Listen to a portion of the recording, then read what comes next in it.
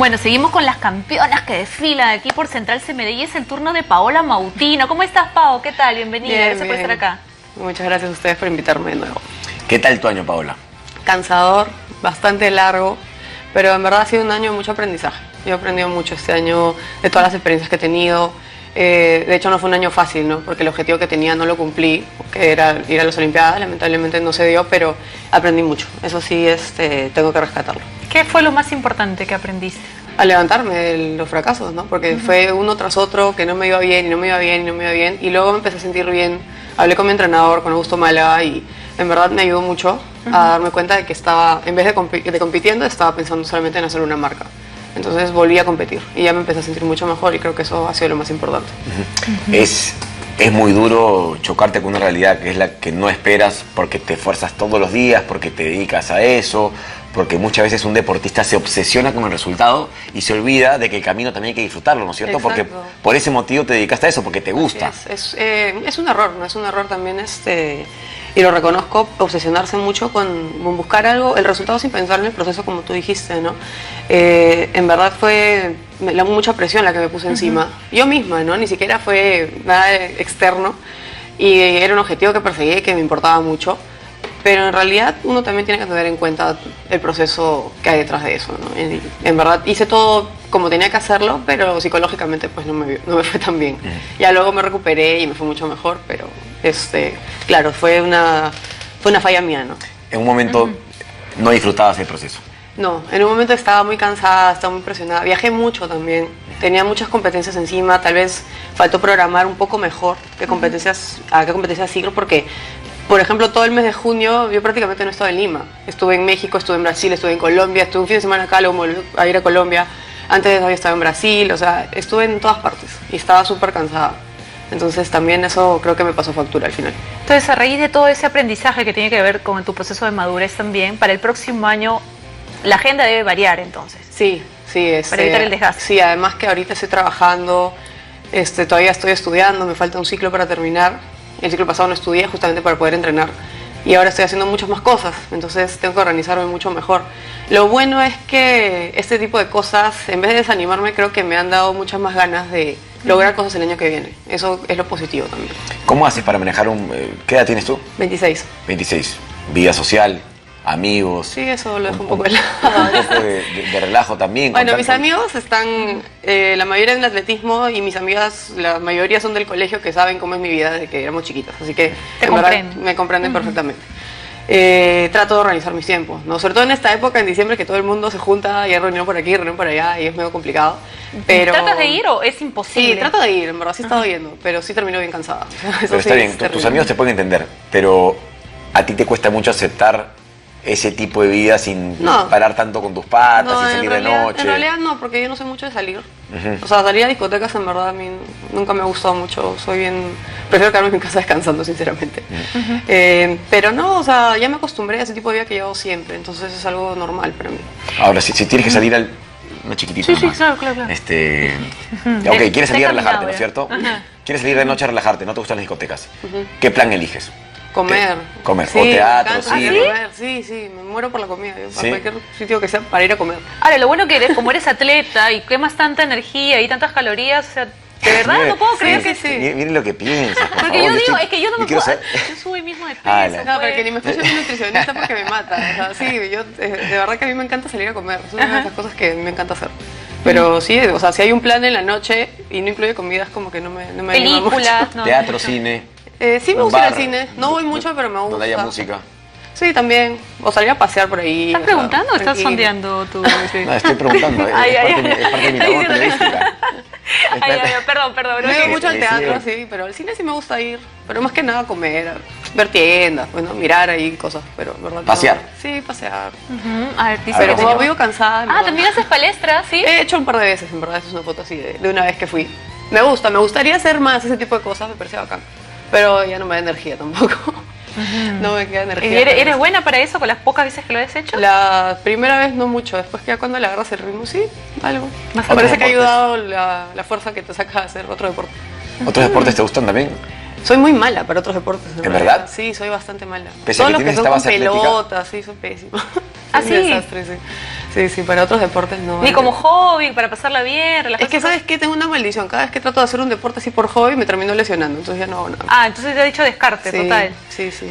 Justamente hablando, eh, retomando lo que decía Michael de la vida social que tiene las, eh, generalmente en esta época todos, Sí. tú nos comentabas fuera de cámara que tú no tienes descanso, ¿no? Y que No, no trabajando. Sí. y año nuevo y todo. Nada, este año hice planes para año nuevo, en verdad. Pero porque simplemente no, no me dieron ganas de hacer ningún plan. Y sí, trabajo de lunes a viernes y ahora peor es esta vez que ha salido que, bueno, Navidad, Año Nuevo son fin de semana, entonces cero descanso. Y entreno también el 24 y me imagino que el 31. Entonces estamos ahí todo duro y parejo. No hay ningún descanso. Ahora, salir a comer sí vas a poder, ¿no es cierto? Eso sí, de todas maneras. No solamente en Navidad, sino en, el día que te provoque. Sí, sí, sí, ¿Qué te gusta salir a comer? Sobre todo pizza, creo que co- como, como todo el mundo, ¿no? Me encanta la pizza, me encanta salir a... Muchas, si hay buffet, mejor. Buffet. Tú tienes un físico privilegiado, ¿cómo te puede gustar el buffet, la pizza y, y estar Sí. como estás? No, pero sí, sí me gusta. O sea, tampoco abuso mucho, ¿no? Ya aprendí que no puedo comer tanto, pero sí me gusta salir a comer. Hamburguesas. Tú, Carolas, este, te privas de, de ese de esa de eso que nos permite la vida, que es comer rico, por ejemplo. No, Uno de a los mí placeres. Hay, muchos dicen que hay tres o cuatro placeres importantísimos en la vida. No voy a decirlos todos porque no, no corresponden en este momento, pero uno de ellos es comer, bien. Sí. Ella se da ese lujo. ¿Tú te haces el lujo? Sí, pero los resultados son diferentes porque yo sí subo de peso, pues ella no, todo es diferente. No, también, yo también me cuido. O sea, si salgo, bien, pero también tengo un régimen que tengo Ajá. que cumplirlo, ¿no? Porque si no, no, no rindo. O sea, además, no, es- no es tanto un tema de mantener el peso, sino poder rendir en el entrenamiento. Pero muchas chicas exageran con eso de, de- de cuidarse, ¿no? En realidad, en general. Sí, o sea, ya no depende de disfrutan cada de algo uno, tan, ¿no? tan Y sobre todo Sí, en país, una ¿no? vez cada tanto no hace daño, ¿no? pero sí hay que cuidarse. O sea, en alto rendimiento la dieta es una parte bien importante. Me la tomo más en serio en competencias, ¿no? Ahorita que estoy en, pre- en pretemporada, que en verdad nos sacan la mugre entrenando, ahí sí me doy un poco más de libertad en ese sentido, pero trato de cuidarme bastante que cuando estoy cerca de competencias o en medio de competencias. Y en Navidad comes, te comes un Sí, normal, normal. panetón así Sí, sí, sí. entero. Hay, hay deportistas que Un han venido y me han hecho un panetón panetón entero, te lo juro. pero sí, bastante. ¿Sí? ¿Sí? No. Sí. Para que tomes esas cosas que metes la mano y no, pu- y no puedes sí, parar. es horrible, No, no sí, puedes parar. no no puedes parar. existir. Sí, no, Sí, no, No es un debería tema, existir, es ¿no? De tema, verdad, sí. es una tentación demasiado fuerte. Sí, sí, para mí la comida es, es terrible. Una Después de la pausa, Carlos nos va a contar que esas cosas le tientan también. Y yo también hablo de las tentaciones, pero no va a faltar programa acá, ¿no? De, de Michael, ya demasiado. Se va a ir, se va a ir la hora. ¿Vamos a hacer la pausa? Sí, señor, me parece pausa, bien, me parece favor. bien. Regresamos con mucho más aquí en Central. Está con nosotros Paola Mautino. Volvemos.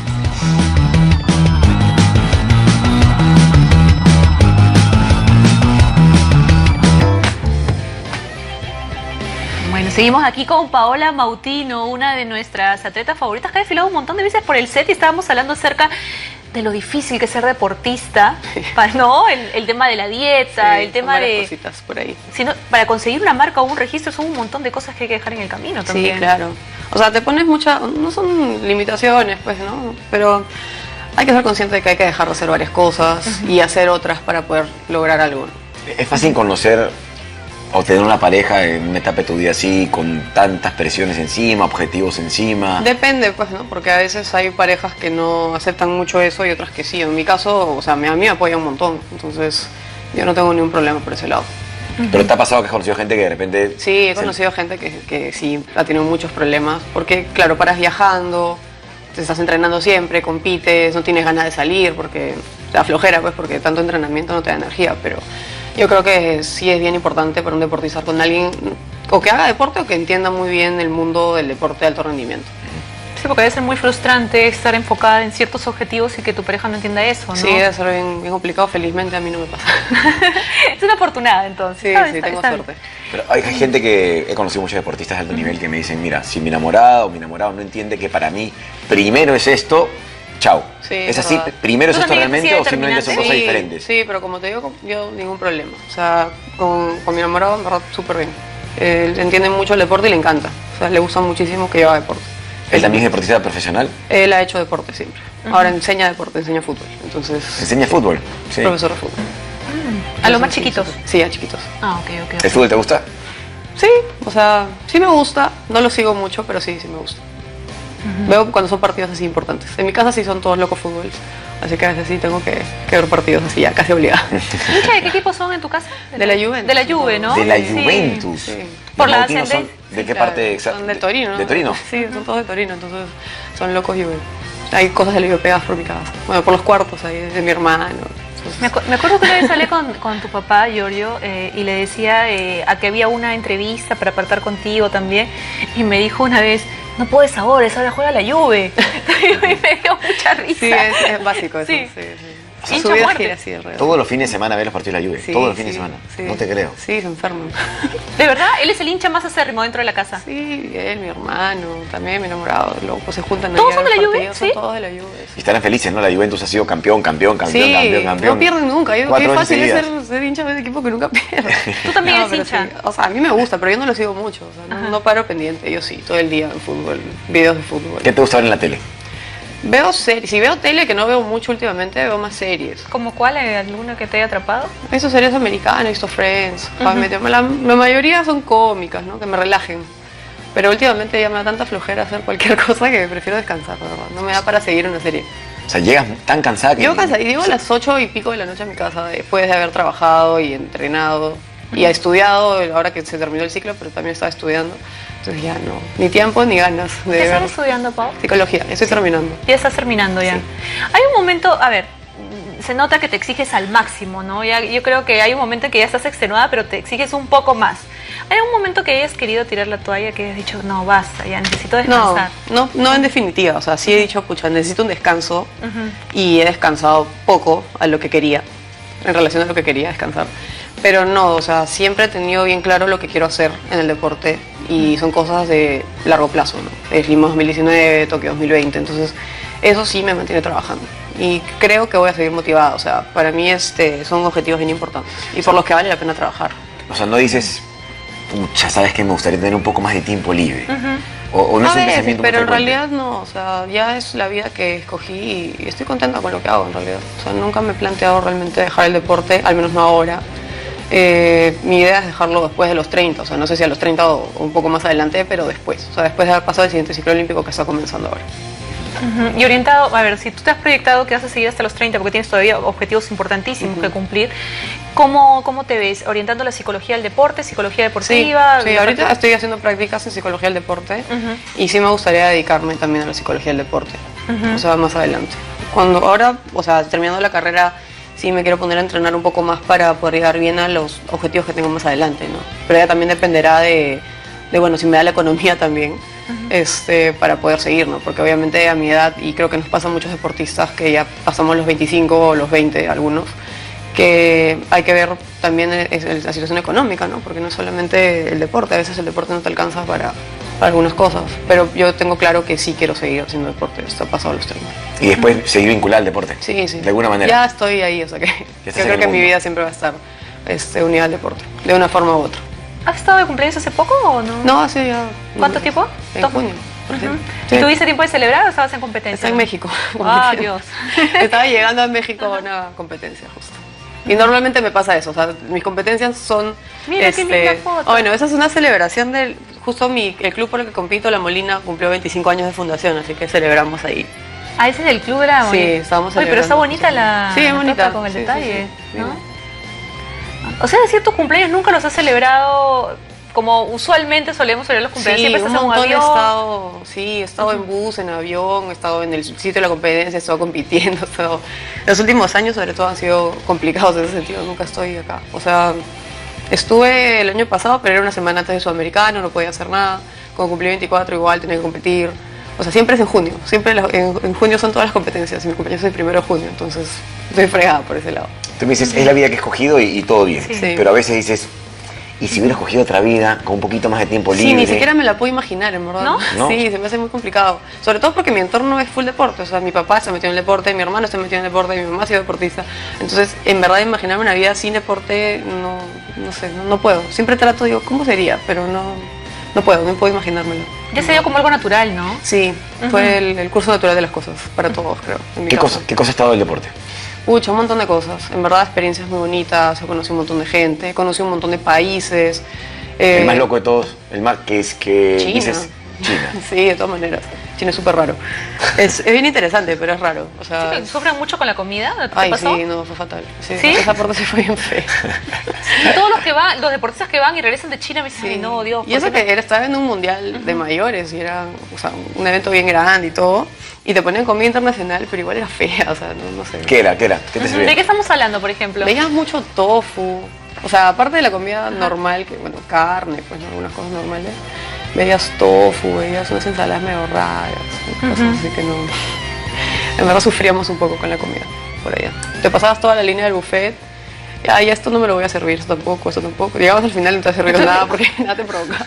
Sí, me acuerdo que acá vinieron los campeones de surf, tenían que hacer una fecha en China y decían, tenemos que ir corriendo de acá de entrevista a hacer compras. Y le digo, ¿por qué? Porque en China no vamos a comer. No, O sea, es tú- que sí, no. no sí, es, complicado el tema del buffet de Sí. allá y todo eso. Por ahí que si te vas a un buen restaurante, pero en, así normal no, no encuentras así nomás comida rica. Es el país más raro que he conocido. Ahora tú decías, este, no me gustan las discotecas, pero te gusta vestirte, producirte, ponerte un vestido, arreglarte bastante. Sí, o sea, sí, normal. Eh, Si tengo que hacerlo, lo hago. ¿no? Tampoco me... Tengo amigas que me han contado, ¿no? Sabes que hoy no tengo ganas de salir, pero tengo ganas de... De arreglarme. De, arreglarme, eso, exacto. O sea, si tengo un evento, sí, sí me gusta arreglarme, ¿no? O sea, de hecho, es, es una cosa rara porque a veces la gente me ve arreglada y dice, "Oye, qué raro. O sea, porque parecen de ropa de deporte, me pasaba en la universidad que a veces iba en ropa normal y no en buzo. Y también me veían raro, ¿no? Y yo, "Pablo, ¿qué te ha pasado hoy día? ¿Por qué no estás este, con buzo? Sí, sí, es... ¿Tú misma no te sientes rara de verte así o tú o no? ¿O te sientes cómoda igual? No, normal, ¿ah? No, no me molesta, no es algo que... No lo veo raro, normal. Pero la pregunta iba también, ¿en tu casa andas con, con pijama, con Ah, no, buzo? indecente, creo que como la mayoría.